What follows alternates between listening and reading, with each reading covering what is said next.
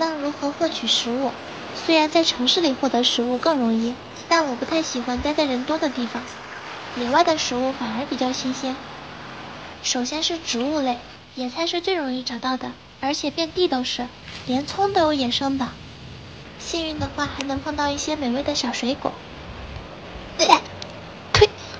其次就是动物类了，最常见的就是虫子，蛋白质含量是牛肉的好几十倍。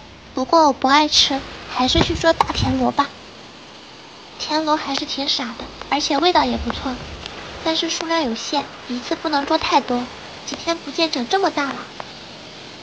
这还有好多小鱼，不过今天的食物已经够吃了，吃完饭再捉吧。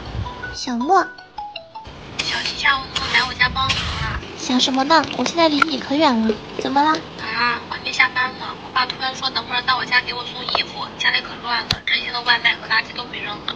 我爸看到估计要把我骂惨了。你叫个保洁不就好了？保洁得提前三四天预约，来不及了。你上五八同城呀，保洁阿姨超级多，随叫随到，爽约必赔。现在还有五八神奇日活动，能领五十八元优惠券，两杯奶茶钱就能打扫干净。叔叔到了，说不定还会夸你呢。五八同城上还能找空调清洗、保姆，上门服务超级多。这么好，我马上去看看。嗯，田螺烤着吃还挺香的，但最近吃的有点太多了，做个蓝鱼陷阱吧。